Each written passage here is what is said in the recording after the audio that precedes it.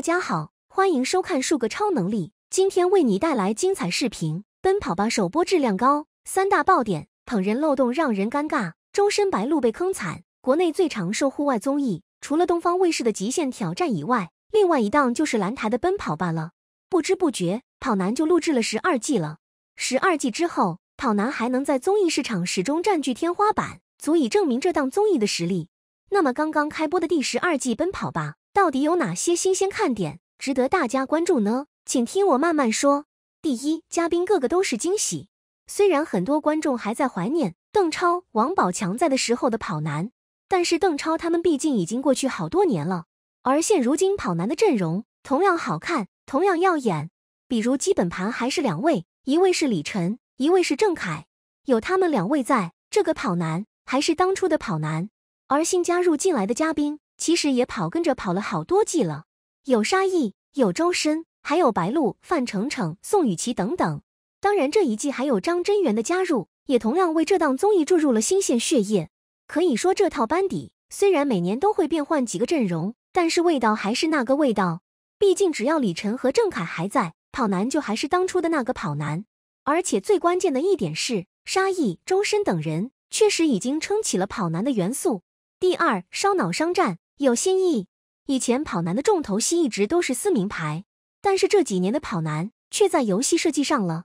而这一季刚刚开播的先导片里面，跑男就开了一个大招，那就是搞起了商战元素，而且一出手就把真正的老板杨天真给邀请了过来。当郑恺、范丞丞他们还没有弄清楚商战规则的时候，杨天真已经入戏了，又是对赌，又是忽悠，真的把郑恺弄得云里雾里。这种综艺环节设计。真的挺棒的，而且最关键的是笑点很强啊！有人瞬间明白了游戏规则，有人半天还没有摸到门。最后郑恺还坚信杨天真会兑现承诺，杨天真却来了一句：“这一局游戏已经结束，承诺不算了。”看到郑恺那被骗的眼神，我确实觉得太好笑了。有商战元素，有喜剧效果。第一期先导片里面，导演组就把戏剧效果给拉满了。至于郑恺，范丞丞他们身上的综艺细胞呢，也是给节目锦上添花。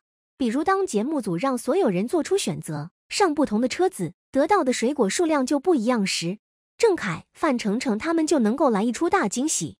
一开始，所有人都以为自己的车上不会上人，可就是在万万想不到的时候，人就会主动上车。作为一档综艺，在这种综艺人的喜剧效果带动下，确实瞬间就能让观众入戏。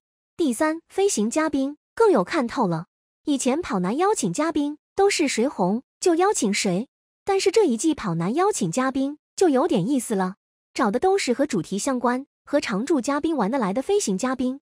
比如这一季第一期节目邀请到的两位嘉宾就很合适，一位是真老板杨天真，他本身就是老板，来这种商战元素的综艺节目中确实是如鱼得水，瞬间就能够显示出自己的能力。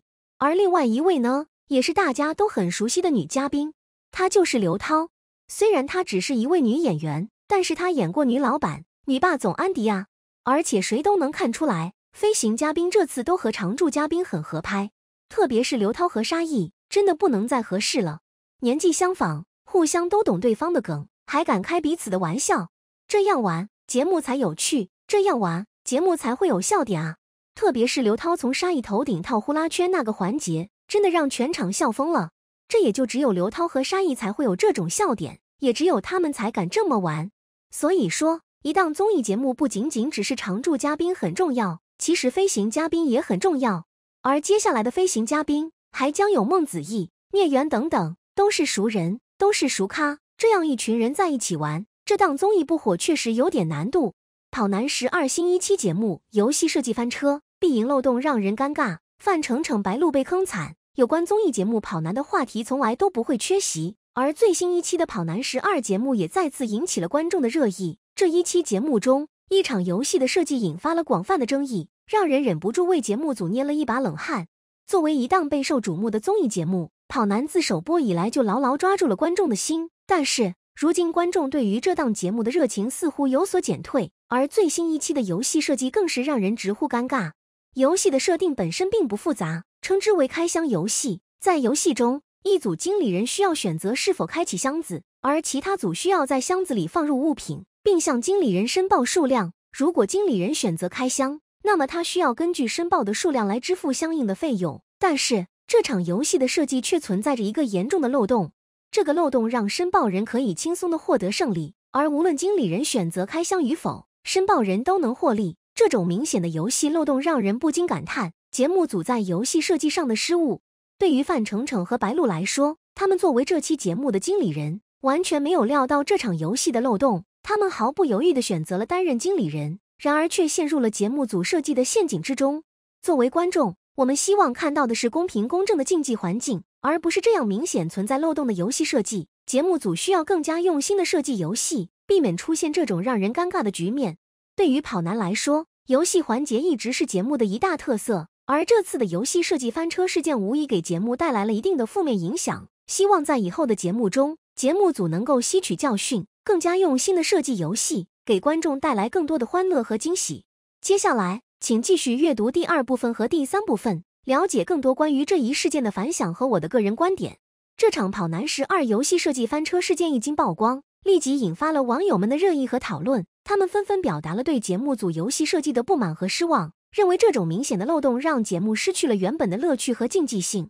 一些网友表示，作为跑男的忠实粉丝，他们一直都很期待节目的游戏环节，但这次的游戏设计却让他们大跌眼镜。他们认为，一个好的游戏设计应该是公平公正的，而不是存在明显漏洞的设计。这样的游戏设计不仅影响了节目的观赏体验，也让人对节目组的专业性产生了质疑。另一些网友则表示。这次游戏设计的翻车让他们感到非常尴尬和无语。他们认为，跑男作为一档知名综艺节目，应该更加用心的设计游戏，避免出现这种令人尴尬的局面。他们希望节目组能够吸取教训，提升游戏设计的水平，为观众带来更多的欢乐和惊喜。作为作者，我也对这次游戏设计翻车事件感到非常失望和无奈。作为一档备受瞩目的综艺节目，跑男本应该是精心策划和制作的。而这次游戏设计的失误却让节目蒙上了一层阴影。我希望节目组能够引以为戒，加强对游戏设计的审查和监管，确保节目的质量和观赏性。